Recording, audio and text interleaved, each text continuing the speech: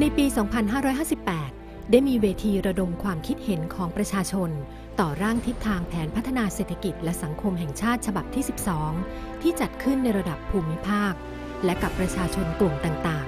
ๆ หนึ่งในประเด็นที่มีความคิดเห็นและข้อเสนอแนะจากผู้เข้าร่วมอย่างหลากหลายก็คือ ยุทธศาสตร์การพัฒนาโครงสร้างพื้นฐาน และระบบโลจิสติกส์หากประเทศมีโครงข่ายขนส่ง และระบบการกระจายสินค้าที่มีประสิทธิภาพ ก็เปรียบเหมือนกับการติดปีกให้ผู้ประกอบการขนาดกลางและขนาดเล็กอย่างพวกผมครับขนส่งระบบรางจะช่วยลดต้นทุนในการขนพืชผักของอีชั้นได้จริงหรือเปล่าคะลูกป้าน่ะเข้าไปทำงานในเมือง หากได้เห็นหน้าได้คุยกันทุกวันก็คงจะดี ถ้าไทยเราเป็นดิจิตอลอีโคโนมีได้จริงนี่ คนรุ่นผมจะมีโอกาสเป็นเจ้าของกิจการได้ง่ายขึ้นใช่ไหมครับ แผนพัฒนาเศรษฐกิจและสังคมแห่งชาติฉบับที่ 12 ได้กำหนดเป้าหมายของยุทธศาสตร์นี้ ให้มุ่งเน้นการพัฒนาโครงสร้างพื้นฐานระบบคมนาคม โดยพัฒนาระบบขนส่งทางราง ให้เป็นโครงข่ายหลักในการเดินทางและขนส่ง การพัฒนาระบบการบริหารจัดการโลจิสติกของประเทศ เพื่อสนับสนุนการพัฒนาพื้นที่เขตเศรษฐกิจพิเศษ พื้นที่เมือง การพัฒนาโครงสร้างพื้นฐานโทรคมนาคมของประเทศ และส่งเสริมสนับสนุนการพัฒนาระบบเศรษฐกิจดิจิทัล และการอนุรักษ์พลังงาน และการเพิ่มประสิทธิภาพการใช้พลังงานในทุกภาคส่วน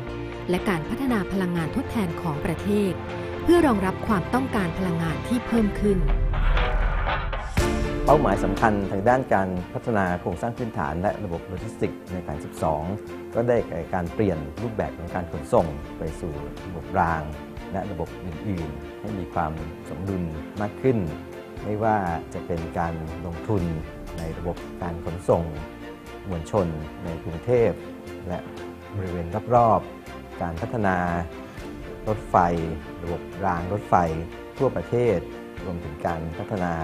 ระบบรถไฟความเร็วปานกลาง หรือความเร็วสูงโครงสร้างพื้นฐาน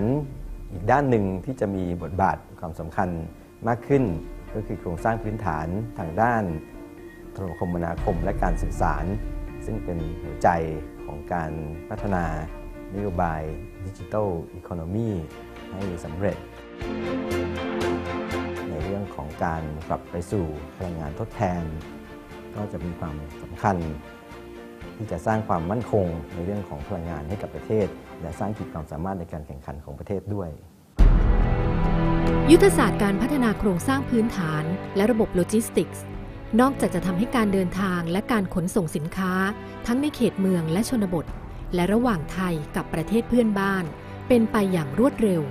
ซึ่งจะช่วยผู้ประกอบการไทย สามารถขยายฐานการลงทุนไปยังประเทศเพื่อนบ้าน และก่อให้เกิดผลดีเชิงเศรษฐกิจแล้ว ยังจะช่วยยกระดับความเป็นอยู่ของคนไทยทั่วประเทศ ทั้งที่อยู่ในเมืองและพื้นที่ห่างไกล ให้สามารถใช้ชีวิตอย่างมีความสุข ความปลอดภัย ตามมาตรฐานสากล ซึ่งสอดคล้องกับวิสัยทัศน์ยุทธศาสตร์ประเทศ มั่นคง มั่งคั่ง ยั่งยืน